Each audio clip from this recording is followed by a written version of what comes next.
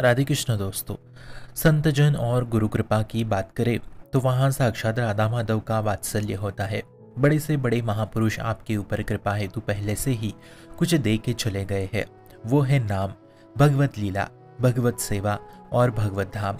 ये चार बातें उन्होंने कृपा हेतु पहले से ही दे दिया है।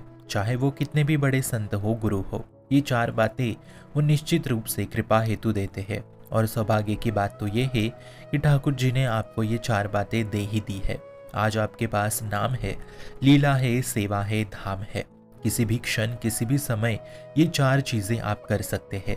ये आपका सौभाग्य है। हर किसी को ये चार बातें प्राप्त नहीं होती। दुनिया में नज़र घुमा के देख लो, समझ आ जाएगा आपको। आप कभी भी नाम ले सकते हो, कभी भी लीला श्रवण गायन कर सकते हो, जब चाहे तब धाम जा सकते हो। और अगर आप सेवा नहीं भी कर रहे हो, पर जहाँ सेवा हो रही है, उसके दर्शन कर रहे हो तो आप सेवा में सम्मिलित हो चुके हो। मतलब सेवा भी आपके हाथ से हो रही है। तो हो गए ना चार बातें परिपूर्ण, पर इसी से कृपा प्राप्त हो ऐसा नहीं है, क्योंकि संतों का और गुरुओं के वचनों का पालन करना भी उतना ही आवश्यक है। तो कौन से वचन? तो पहला है वैराग्य, दूसरा है नाम ना भूलने की प्रतिज्ञा। बस इन्हीं दो वचनों का पालन करना है। वैराग्य हो के मुख से नाम को रटना ही संतों के वचन है। संत और गुरु के वचनों का जो पालन करे, वही तो शिष्य कहलाता है, और जो बात ना माने, वो शिष्य हो ही नहीं सकता। चाहे कितने भी मंत्रधारित तुलसी कंटी धारण कर लो, पर वचनों का पालन ही नहीं कर रहे हो तो कुछ भी नहीं होता। कंटी पहन के मांसाहार खाना, संबंध बनाना, नाम ना लेना, इससे कुछ नहीं होता। वचन तो हृदय से लिए जाते हैं। और जहाँ वचनों का पालन होता है, वही भगवत कृपा, संत गुरु कृपा घर बैठे प्राप्त होती है।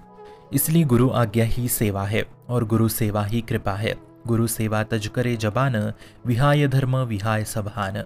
श्री जी की सेवा में रहो, श्री जी की लीलाओं को सुनो, श्री जी के नाम को जपो, धाम जाते रहो।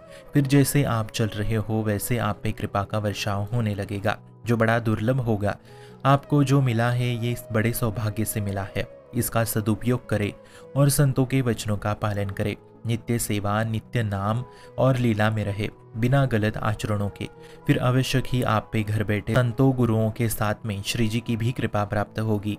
और ऐसे कभी भी नाम और वाणी से कभी खाली न रहने लगो तो आवश्यक ही निश्चित ही भगवत प्राप्ति तय है। लिख लो। शुभम भवतु कल्याण मोस्तु